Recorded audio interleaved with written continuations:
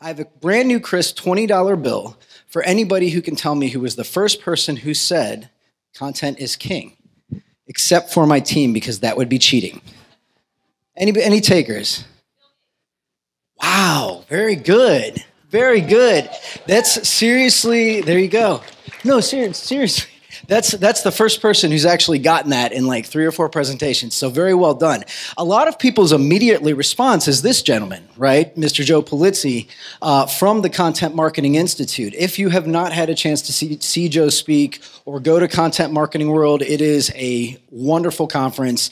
Uh, Content Marketing Institute actually just sold for I believe it was 10 million or 11 million dollars. Uh, and what's interesting about that is this book right here, Content Inc. I encourage all of you guys to pick this up. Uh, this is the book on the content business model. So in this book, you will find six tenets of how to build a Content Inc. business model. And I think Joe just absolutely legitimized the model in this book because he just sold his company that was completely developed on the model in the book. So go check that out. That's who most people guess. But the truth of the matter is that the person who did originate Content is King was Mr. William Gates. And that was way back in 1996 in an article on the Microsoft blog. And yes, there were blogs back in 1996. We still called them journaling back then. Um, but it was Mr. Gates.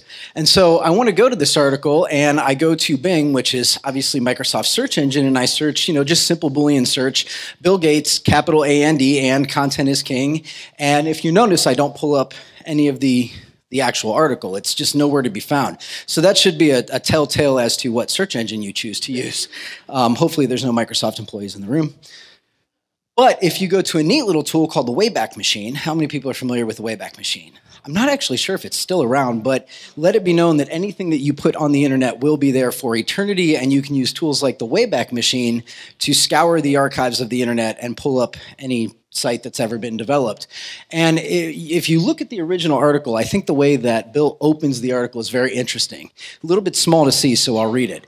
Content is where I expect much of the real money will be made on the internet, just as it was in broadcasting. Think about that for a minute.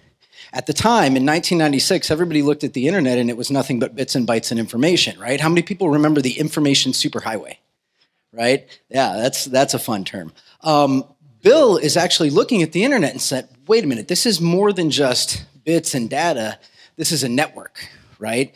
This is very similar to other networks that we saw the day. The television revolution that began a half century ago spawned a number of industries, including the manufacturing of TV sets. But the long term winners were those who used the medium to deliver information and entertainment. So think about that for a minute. We've heard that from every single speaker that has been up today edutainment, information, entertainment. That's essentially what content is, isn't it? It's information and entertainment. But let's think back to 1996 when Bill was referencing television networks, right, and the television industry. And if you think about the television industry, there's not a lot of us, with the exception of maybe the Super Bowl, that watch television for the commercials. Even marketers don't necessarily watch television for the commercials, we watch for the programming. We watch for the content that creates regular habits, regular viewing habits among us. That is what gives the value to the network so that advertisers can promote their brands. And that's really how TV became popular was by the content that allows us to advertise in the same space, right? So something funny's happening. Television viewing has been on the decline for some time. Okay, uh, and we've seen this trend, and there's a lot of different reasons. But since about 2008, television viewing overall is on the decline. Now, are less people watching television?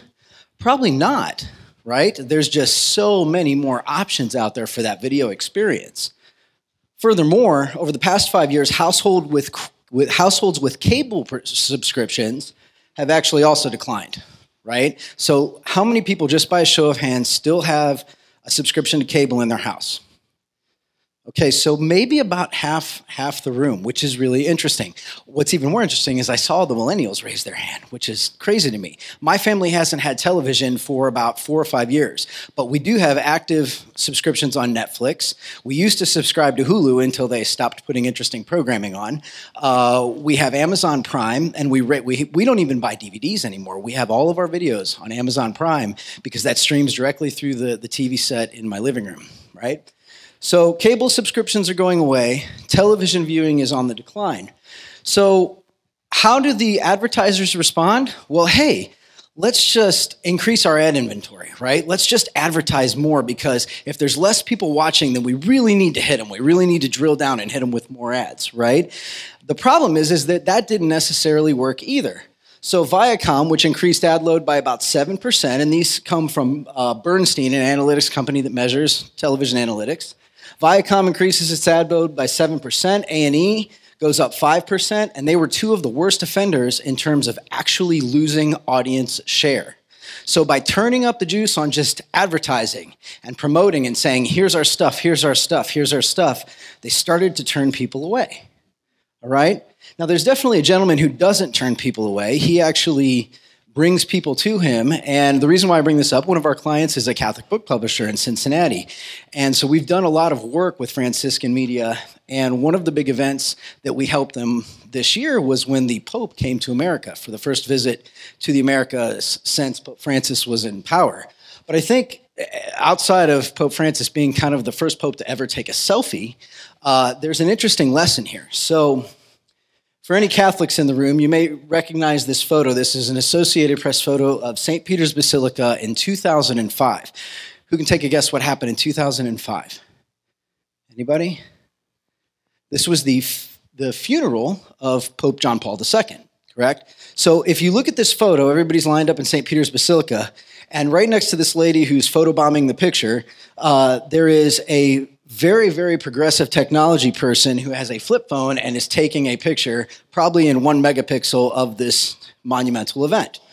Now, let's go ahead and fast forward to 2013 when Pope Francis was kind of inaugurated. I don't know if you say it's inaugurated or sworn in, but this is the same location, St. Peter's Basilica, in 2013.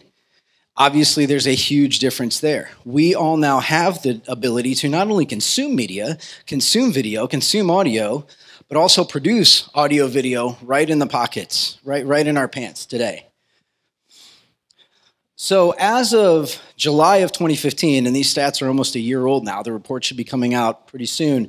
77.1% of America who had mobile phones has a smart mobile device. What that means is that flip phones, like we saw in that photo, aren't even being produced anymore. And this adoption, this adoption of smart mobile devices that are internet ready, app enabled, it's not going to stop. This is a freight train that's constantly moving. We also know that globally, and this was reported by Cisco, uh, part of their Visual Marketing Index, uh, globally, IP video is going to represent, or it's projected to represent, 80% of all internet traffic. Not just searches, not anything. 80% of all internet traffic is estimated by 2019. So that's a pretty, pretty uh, huge increase. And they do this study regularly on an annual basis. On top of that, we're seeing Netflix subscribers go up. We're seeing Amazon and Hulu and all these online options for video consumption just start to increase, just start to spike drastically. This is indicating what is a seismic shift in the way that we consume video. Okay? Simple show of hands. How many people in the room have watched a video on their phone or tablet within the last 24 hours? Pretty much all the hands grow up. Notice that when I ask the cable subscription question, half the hands go up. When I ask about video on the phone, almost every hand in the room goes up. So, my question to you is what are you doing as a business about this? Because there's probably a large majority of businesses in this room that can never or will never be able to afford to advertise on television, even at the local level. It's very, very expensive. But you all in your pockets today have the ability to produce video to produce your own advertisements, to produce your own video content, and really hook the audience in on what you have to say. One of the things that Netflix does very, very well is they are the first video streaming service to really move into the area of producing original content and or sourcing content that they can run on their network. Uh, if anybody watches Orange and the New Black, that season actually, I believe, just released last week. Uh, I know my wife has already blocked out time for the proverbial binge watching. But that is one of the things that Netflix has also done because instead of having to watch one episode per week that's littered with advertisements every 10 to 5 to 10 minutes, Now we can sit down on a Saturday and complete a season, right? We can completely binge watch any programming that we want. And all the marketers and advertisers in the room started to shake and shiver and freak out because suddenly the entire industry has been disrupted, right? The way that we have done things in the past simply does not work anymore because consumers have told us differently. We have told the marketers and advertisers differently. So, this is what Bill leaves us with. The long term winners are those who use the medium to deliver information and entertainment and that is really the key to success in terms of video marketing for the next five to 10 years is delivering information and entertainment. Call it anything you want, edutainment, whatever the term is, but it's the combination of those two things, informing and making it interesting and entertaining for somebody that is what's going to keep them coming back. So, the presentation today is going to give you five simple steps in terms of things that you can go and you can do right away. You could leave and you could get started on this tomorrow and have things in place by next week because it's that easy. It's that easy to produce video that there's no longer any excuses for any business not to be producing their own video content. So that's what we're going to talk about today. So, number one, build a permanent office studio. How many people in the in the room in their business have video equipment? that, that is available in the office. A few hands go up. An interesting thing has happened in the video equipment or the video production market is that with the advent of things like iPhone video, HD video on our mobile devices, DSLR cameras, Canon uh, 5Ds, 60Ds, video equipment has become commoditized. There's a tiny little company in Columbus called Mills James Productions. Mills James has been around for years and years and years, and at one point, they held all the cards to all the production business in and around the area. A large part of that was because they had the money and made the investment in the studios and in very, very expensive, hard to maintain equipment that took specialists to be able to operate. Those days are completely gone. A lot of you in your pocket right now, if you have an iPhone, have the same production capability. You can shoot video in the same definition as some of the major production houses. Okay, and with very simple add ons and tools like microphones, you can get capture grade audio. You can do a lot of this, whereas before you had to buy your way in and then train your way in to be able to do this. It's much easier now. One of the ways that you increase your frequency and your spontaneity of producing video is by making a permanent place in your office. Maybe it's an old conference room, a spare office, a broom closet, where you can keep this equipment set up. You can go and you can buy a simple lighting uh, kit for between 150 and, and 500 dollars on on Amazon. Have it shipped right to your door with soft boxes. LEDs are incredibly cheap and incredibly efficient in terms of energy, and you can just keep those permanently set up. I know at my desk uh, in in my own office, I actually have two LED lights that sit on top of my desk because we do a lot of webcasts and we do a lot of video interviews using uh, Zoom video conferencing, and so I never have to worry about resetting up the lights. I can just flick them on now and it's ready to go in two seconds. And because of that, if I have an opportunity where I'm talking with somebody on a video conference and they start to talk about something interesting, I can say, hold on, would you mind if I ask you a quick questions and just record this real quick and flip on the lights and I'm ready to go. And even if I don't know what I'm going to do with that content, I still have it right? It's better to capture it and have it and figure out what you're going to do with it later than to not capture it at all. So this is also uh, just a real quick snapshot of the office studio that we set up. This is just a spare conference room. It's actually Cody's office. If you look there, we've got a, a, a, very cheap mixing board, a USB mixing board that we got off of Amazon. I think it was a few hundred dollars, hooked up to a simple iMac. We invested in uh, some studio mics. They were about $50 a piece. The quality is amazing. You can get all this stuff on Amazon, or you can go to you know any other uh, B&H photo. Photo is another one where you can get a lot of this equipment. Uh, a few simple tripods. That's actually a tablecloth hanging off the back wall as a black backdrop because tablecloths are incredibly cheap. If you don't want to use a tablecloth, you can invest a few hundred dollars to get uh, kind of a backdrop and a scrim, just like that. Very easy to set up and tear down. Or if you want to get really tricky with it, you can go to any of your local photography shops and you can buy rolls of paper that are colored, that have textured backgrounds. And for less than $10, you can have multiple different color backgrounds for different types of videos. This is very useful for the talking head type videos and uh, recording some customer testimonials, uh, some of the how to type videos, other simple interviews that are just interesting content.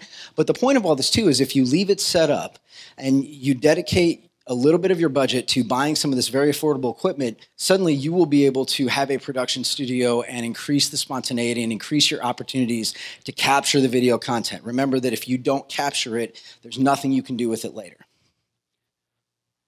So, if you'd like to learn more about how to actually go into the nuts and bolts of three point lighting, different types of colored backdrops, how to get focus, and all the tips and tricks that go around with uh, video production, Wistia, how many folks have heard of Wistia in the room?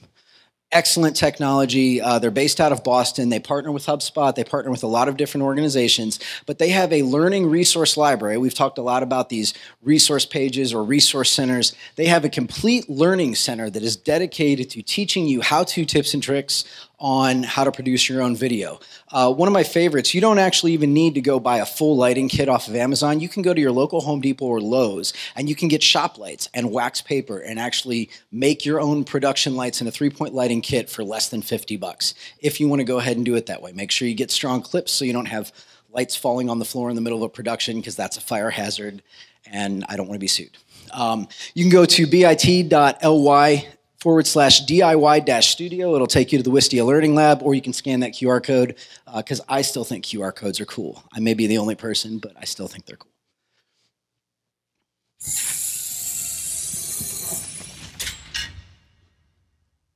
I'm Bill Warner with Pro Spray Automotive Finishes, and in today's video we're going to be discussing the proper application of clear coats. Application of clear coats are very important. That's the last thing you see in the finish of the paint job. Make sure your base coat has been applied, it's dried properly between coats. Choose the solvent and the hardener for the size of the repair, the area of the repair, and the temperature and the humidity for the day. All good brand paint guns will work properly. These are just tools that, like anything else, a painter will choose based on his own liking. But they'll all give you good results. We're going to put on two coats. The first coat will be a nice medium to wet coat. So this video is a few years old now, and it was shot when ProSpray Automotive was was acquired by U.S. Chemical. I think the company has since been sold, but Bill was actually one of their engineers. He actually worked in the spray shop, uh, and they knew that their audience was folks that they called jobbers. So these are typically people working in auto body detail shops. They're blue collar workers. They don't really have uh, a desktop in front of them, or they are up and moving around so much that they don't really sit down at a computer a lot. But what they do have is phones and tablets. And so ProSpray decided, you know what, we're going to produce all of this content to teach people how to better use our products, how to properly apply different types of clear coat, uh, how to uh, do things like assemble a spray gun. And if you look, this is just a screenshot of their channel. They have hundreds and hundreds of different videos that are all on this channel. The one that I just showed you was the first minute of, of probably a three minute video. Uh, but the last time I checked, there was about 50,000 viewers on the video for how to assemble a spray gun. And there are three videos in that series. So take a wild guess as to what Pro Spray Automotive does not sell? What do they not sell? They do not sell spray guns. They sell the stuff that goes inside the spray guns. But they're smart enough to know that if you are going to apply their product, you better know how to assemble a spray gun. You better know how to buy the right spray gun. You better know how to clean and disassemble and safely store a spray gun. And if they teach you that, you start to trust them and you start to bookmark this channel and subscribe and go back video after video. And who knows, maybe this ends up leading to your body shop actually switching vendors over to ProSpray because of all these informational materials that allow you to bring in new associates and train them as you grow. So, this is just one way to look at using video as a way to inform and educate your audience.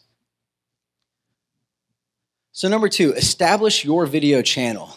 One of the things that Pulizzi talks about in Content Inc. that I really, really like is this idea of building the base, one of the concepts. And I think we as marketers have gotten very, very guilty of we have all this content or we have some content. Now we have to have content for Facebook and Instagram and our blog and our YouTube channel. And oh, now we want to do Facebook live streaming. And there's all these things that we have to do. And Pulizzi says, you know what? That's not the way to go because you can only be with one button, one place at one time. So if you spread your eggs out over all these baskets, you're not going to do any of them well. Pick one. If you're going to do a type of content, pick a video content with one channel and one theme and do that consistently and frequently over and over because that consistency and that frequency is what's going to build the base. And I'll even argue that going one step further makes all the difference in the world. And that one step is called episodic content. Okay, if you look at the podcasting trends in terms of audio, podcasts are typically released on the same time every week or every day, depending on the nature of the show. It's usually re- released very, very consistently, and people start to build that expectation of this is when new content is coming out. And if you think about that, that's very much how television worked. My family loves to watch Modern Family, and we know that historically, Modern Family has been on Wednesday nights at 9 p.m., and so we all gather around the TV, and that's one of the shows that we watch together as a family.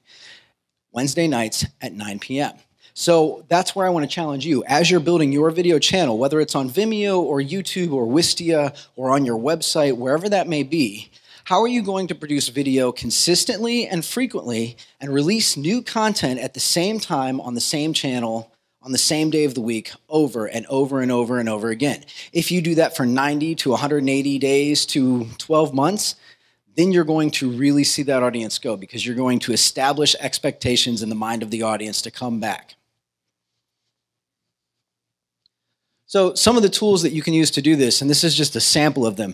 There are tons and tons of video marketing platforms out there. Wistia is what's considered a video marketing platform. So, very, very good for embedding video onto your site and getting deep, deep analytics in terms of who's watching the video, when are they falling off, what areas of the video are they clicking on or looking at with heat tracking maps. And it integrates with a lot of different technologies, such as HubSpot, such as Oracle, few others.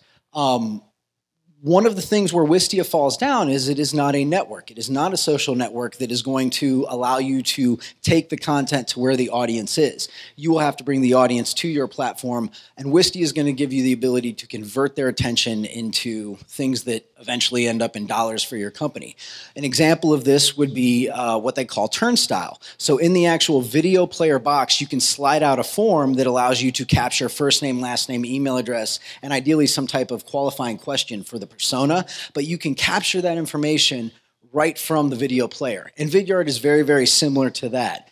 Brightcove is a little bit different, but also in that same category. Whereas YouTube and Vimeo are, they will provide you with the analytics. They are net built-in networks. Vimeo tends to be uh, a lot of movie producers, a lot of freelancers, a lot of video firms use Vimeo, whereas YouTube is pretty much everybody in the world and has a lot of search advantages because they are owned by the number one search engine in the world. Facebook, I think, and I agree with a lot of the presenters, Facebook is the advent of where video is going to go. Uh, a few months ago, actually almost a year ago at this point, I had the chance to go out to the New York office of Facebook. We had a Columbus connection out there. And so we went on the tour and we ate lunch and it was really great. And at the very end of it, I had to stop and use the restroom. And as I'm in the restroom, I notice a sign that was pretty much all of the heads up stuff to internal Facebook staff on where video was going with the new different turnstile ads and Facebook Live and all kinds of different stuff that Facebook was doing on video. So, video is very much a focus for Facebook. And I think in the next five to 10 years, you're going to see the scales tip heavily towards Facebook. Facebook isn't going anywhere anytime fast. So, another thing that's very, very important to producing video content for marketing is really mapping that to different stages in the customer lifecycle or what the inbound camp calls the buyer's journey, right? And we as consumers go through three different stages typically, and there's a lot of variations on this with different steps, but at its most simplest form, each consumer goes through three stages awareness, consideration, and decision. In the awareness stage is typically when we become aware of something and then we're driven online to go find out more information.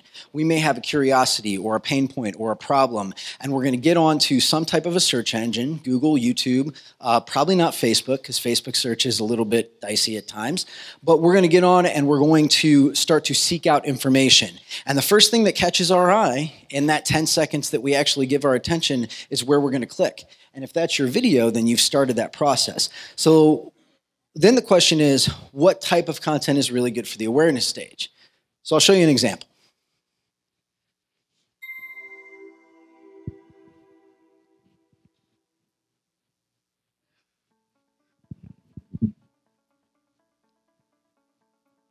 Casement window um, is a rectangular window that uh, has hinges on one side and it swings open using a crank. It's a little bit light The on the unique audio. feature of a casement window is it's really the most energy efficient operable window that you can purchase for your home. And that's really in regards to the sash and the frame.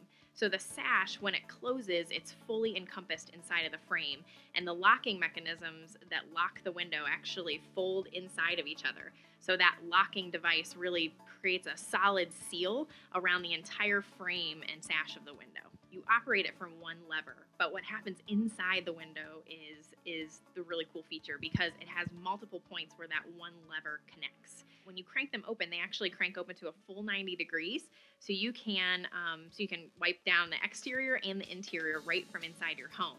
The other cool feature is that our screen is actually located on the inside. So there's really no need to ever go outside when you have a casement window to clean it.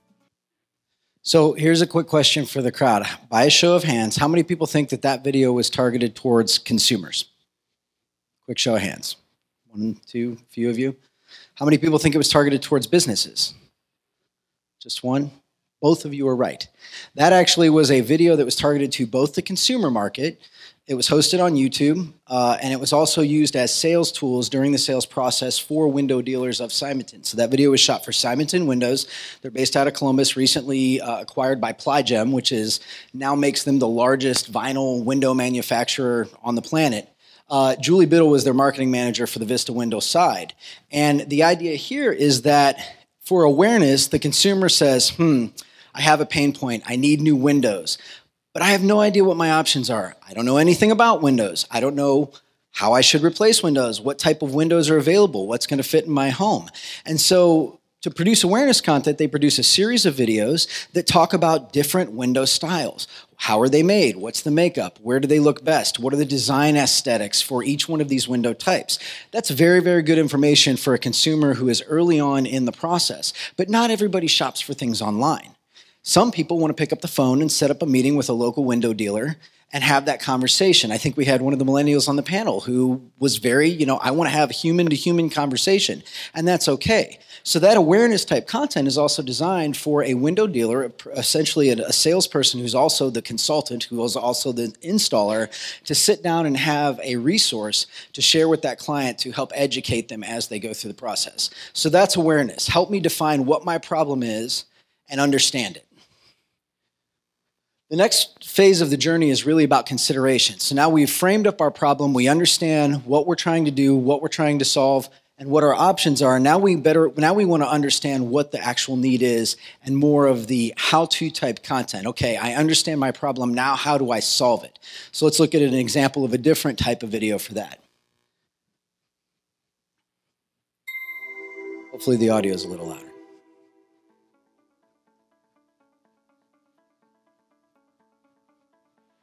Cleaning the tilt and slide window is really easy. There's just a few things you need to know. First, you will want to unlock the window. Then you need to slide the sash open enough so that it clears the interior of the frame. Then you want to release the brake bars that are hidden inside of the heavy duty tilt latches. You do this by pushing down on the top one and pulling up on the bottom latch. Once the bar is released, you need to push the bar into the frame cavity. This engages the braking system, which keeps the sash locked into place while it's open. Grab the sash and swing Thank it you. out. And we're going to repeat the same exact thing with the other sash. So, first off, selling windows is not the sexiest business in the game. It's a lot of technical information, it's a lot of product information. But what you're seeing here is a how to video, okay? I'm considering a casement window for my home. Vista knows that one of their core target audience is the woman of the house, typically who is going to be very involved in the purchase decisions and probably involved in selecting the type of product based on her needs. One of her needs, right or wrong, may or may be I want to understand how to clean these windows. I want to understand how they work. I want to understand how they open. And so you produce a how to video that demonstrates that process and shows the components of that video. Now, here's another tricky thing on the video. Do you notice anything different about this video and the first video that you watched other than the nature of the content? Does anybody notice anything different? She was talking before into the camera, that talking head type shoot. Uh, what's what's interesting is that the first video that you watched was actually produced in Julie's home. So we were inside her house. She has Vista windows in her house, and we were shooting those videos there, set up the full interview studio. Uh, it was a very, very quick production. This particular video, because those windows were not installed in anybody's house, was a studio shoot. This was done at Kreber in Columbus, which is a very large scale studio. What you're looking at is a backdrop that they manufactured, installed the windows in, and all that green stuff you see behind there is actually a poster, right, that sits right behind it. But to the consumer, nobody ever can tell that that is produced in a studio and the first one was actually produced in the home. So again, you can produce very different types of videos with whatever resources you have available or whatever the situation dictates. It just takes a little bit of planning and we're going to give you some documents that are going to help you with that here in just a moment. So now that we've figured out what the pain point is, what the problem is. We're teaching how to information on how to solve the problem, a little bit different nature of the content and consideration. Now we're going to move to the decision stage. And this is really where typically the consumer is ready to reach out and start saying, okay, who can help me solve my problem? So awareness is about what? What is my problem?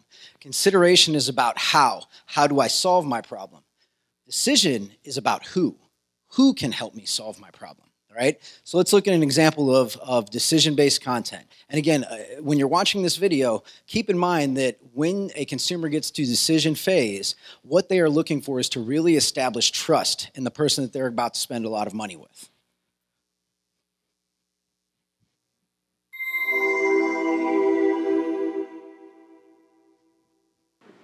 Hi, I'm Julie, and I'm really excited to introduce you guys to our window buying guide today. It's a new tool that we've put on our website and just developed it in order to help you through the window buying process.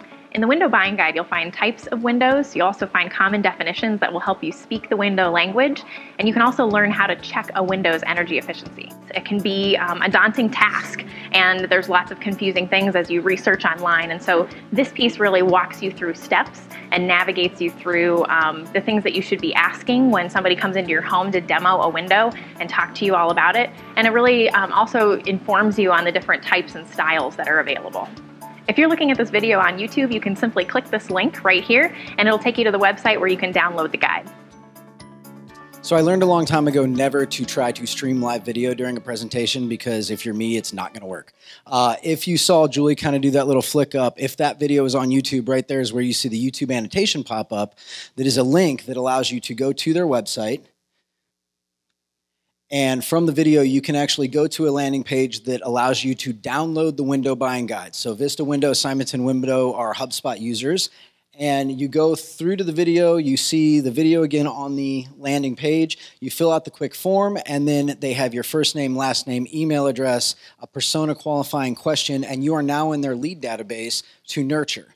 Now, what this window buying guide, just a downloadable PDF, is designed to do is to be a workbook. So instead of a sales brochure with here's the pricing, here's all the different options, this is really intended to be a worksheet that the consumer then sits down and works through various different questions, fills them out, and then goes to their window dealer to use that as a conversation starter and sales increase because the consumer feels much more informed about this incredibly complicated process of buying windows. Understanding the terminology, knowing what the options are, knowing what the process is, what the costs are, that's a lot of information for a purchase that you're likely to do once, maybe twice in your lifetime right? So a document like this, using video to drive people to the document as opposed to as opposed to the sale is really where I think the meat of content marketing comes in in terms of video. Do not try to use video to drive people to the sale. Drive them to the information that allows them to make the buying decision and feel more informed.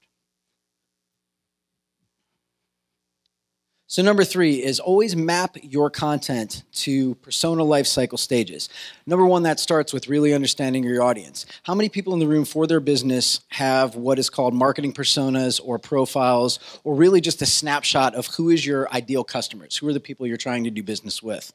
If your hand is not up, that is your first challenge go back and figure out the two to five different types of ideal customers. And notice that I say ideal customer. This is not just anybody with money who is willing to buy your stuff. This is the right type of customer who's going to have the budget, but then eventually really appreciate what you have to deliver to them and hopefully tell their friends because they're so pleased with what they've purchased from you. Okay, that's the ideal customer. So your challenge is if you don't have those, develop two to three of those, maybe five of those, and start to flesh out who that is. Once you have those, start thinking through what is their journey. So if you have a persona that is Window Willie, what is Window Willie going to need to understand during awareness, consideration, and decision to ultimately make a purchase of new windows in his home? Take that product and replace it with the product or service that you sell.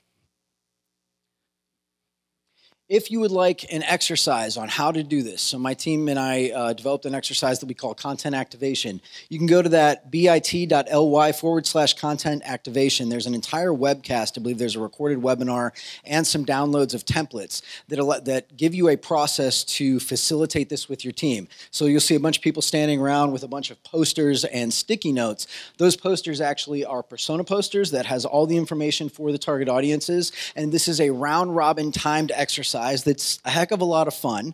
Uh, and in about 20 to 30 minutes, you and five to six of your coworkers could probably come up with a few hundred different ideas brainstorming of what type of content, what type of questions can you answer for your, your audience, for your customers, and then you simply map those questions to what stage of the buying journey are they in. So go ahead and scan that code and download that. So number four, Master basic production skills. Remember that I said that the power is not with the production companies anymore. We don't need hundreds and hundreds of thousands of dollars of equipment and years of schooling to be able to produce good video. We need an iPhone or Blab or Facebook Live or a DSLR camera, all of which are very, very affordable and well within your reach in terms of the learning curve to be able to understand how to operate. You get on iMovie. iMovie is a great little editing suite. It's very intuitive. You can go all the way up to Adobe Premiere if you want to get really complicated with it. Um, but pick what's going to work for you. How do you learn how to do this stuff? Well, we also live in the age of online MOOCs or massive online uh, learning centers and one of them is Builder Digital Arts. There is a complete video production certificate program. Uh, I'm a big believer in a lot of the online learning and certificate program. Online learning is not for everybody. A lot of people really don't resonate well unless they're in a classroom and they have that human to human instruction. But if you have people in your company that adapt to this, by all means, check out the Video Production Certificate Program. There's a series of courses and classes that will give you all the skills you need if you have the diligence to work through it in terms of producing your own video. But it doesn't stop there. You can go to Video Maker Training, uh, not a certificate course, but a lot of spot courses in terms of how to complete this one task for video production, how to use Adobe's suite, how to use iMovie. A lot of different resources there as well. Uh, some are free, some are paid. The certificate is actually a paid certificate, but you're talking a few hundred dollars. Uh, Lynda Video Training, there's a lot of free and paid resources there. And Lynda is actually massive because Lynda does not just specifically educate on video production, they'll educate you on anything that you want. There's all kinds of learning resources.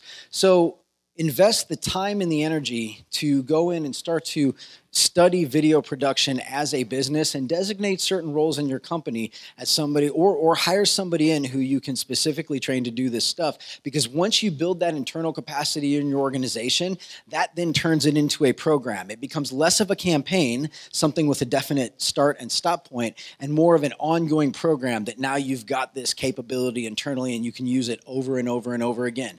This is about making an investment that's going to give you returns over the long term some of the other ways you can do this is if you simply don't have the time or the wherewithal to get through training and, and learn how to do it for yourselves, you don't necessarily need to use local connections anymore to source video talent, particularly if you're a business that has multiple different locations or serves multiple different markets. It is very, very expensive to hire a local videographer or local producer and send them on the road with equipment for a period of time to go produce that client testimonial in Woonsocket, Rhode Island. I think that's Rhode Island. Um, Rhode Island? Woonsocket, maybe? Yeah, I'm, i failed at geography. I was a marketer.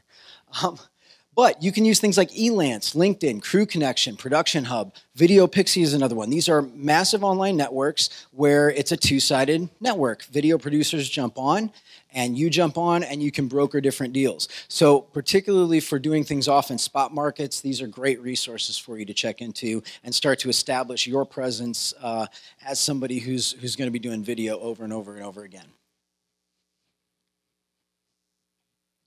Another thing that's going to help you, and I told you we had some, some templates for you as well. When you are, as an internal team, planning out bigger productions, uh, let's say that you want to go and do a customer story and produce a video on that, or if you have uh, different types of shows that you want to produce for maybe episodic content, you're going to need some documentation. So if you go to bit.ly forward slash pre dash pro dash pack, there are five free production templates. Uh, one is an advanced shot list template. It's going to allow you to think through the shots that you want to get to help you plan how many resources that you have. Any producer, if you hand them a shot list, they'll be able to work with you on that and tell you, you know, that's going to help with estimating budget.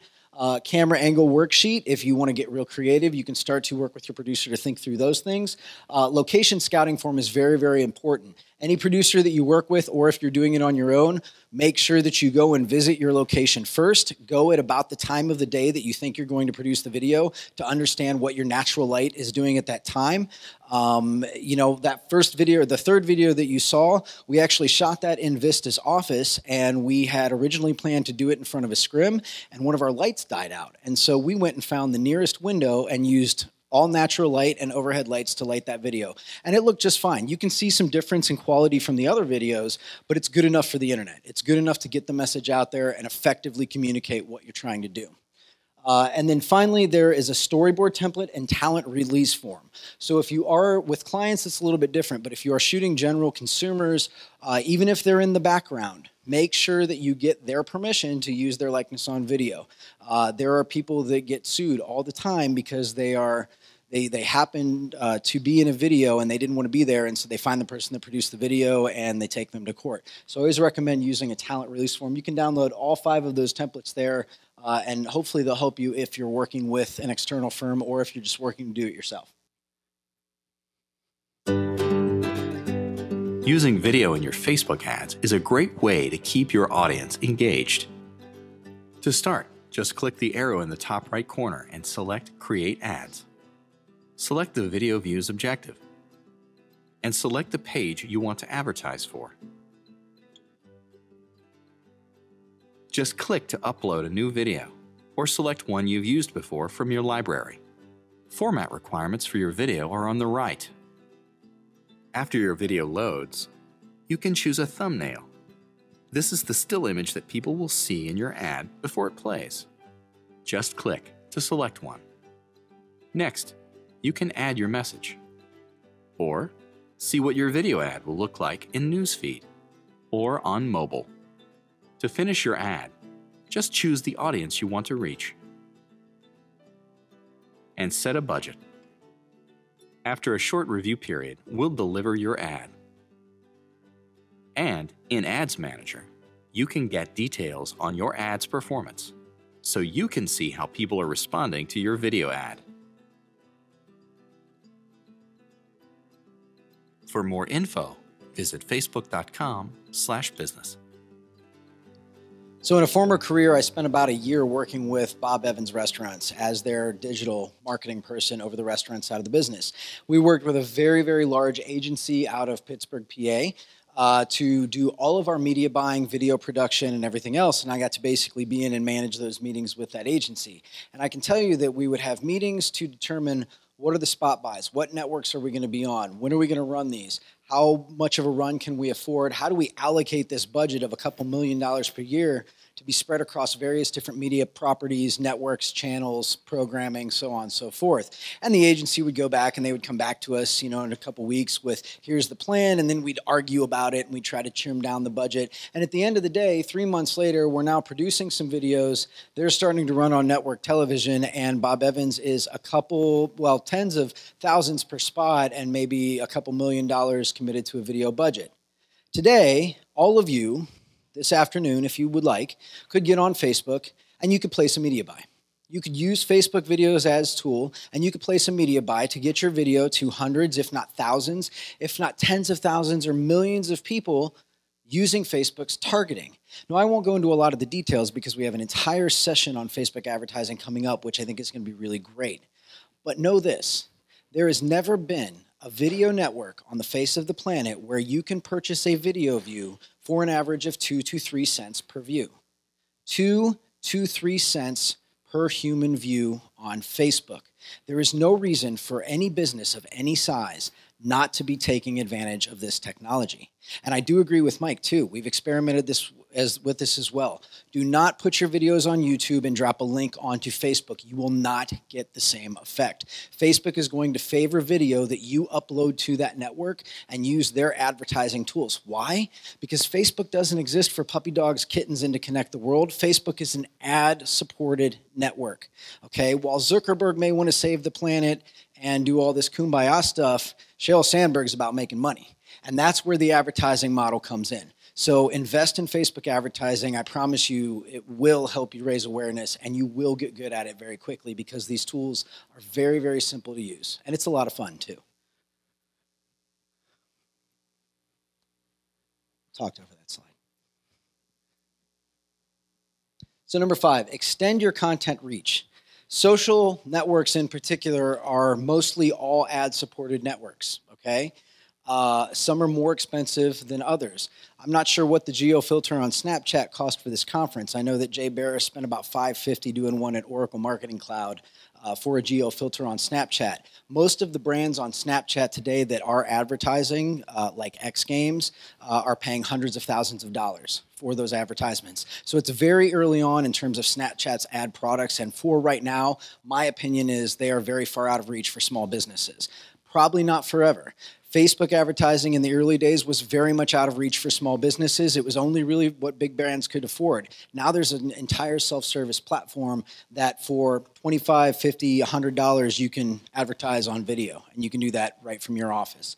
Uh, whatever the platform is, make sure that you have a budget to advertise your videos. Jay Baer has a saying in his book Youtility, another great book, uh, one of the tenants is market your marketing, right? So a lot of times we as marketers think, oh, we've just produced this great video. Oh, we're done. No, that's absolutely when the work starts. You've produced the content. Now you have to put dollars and energy and time behind it to get it out to as wide of an audience as you possibly can. And Facebook advertising in particular is a very effective way to do that. So, again, we'll reiterate with Bill the long term winners are those who use the medium to deliver information and entertainment. And the way that you do that is through five simple steps. Number one, build a permanent office studio. You're going to increase your frequency, you're going to increase your spontaneity, and always, always, always capture the content. Even if you have an inkling that there might be a story or some interesting tidbit there, capture it because if you don't capture it, you don't have it, and there's nothing you can do with it later. Establish your video channel. Pick one. Pick one place and get really, really good at that and then diversify. And the way that you get really good and build an audience is through consistency and frequency and quality as well. Three, map content to persona lifecycle stages. First, start by understanding who are your ideal clients. Who are the three to five people that we want to target as our ideal clients, and then understand what their educational and informational needs are through those three stages awareness, consideration, and decision. Number four, master basic basic production skills. There's all kinds of resources out there where you can go and learn it on your own, hire somebody in, but build this as an internal capacity to your business because now you are going to be set up for a long-term ongoing program. And finally, make sure that you extend your the reach of your content.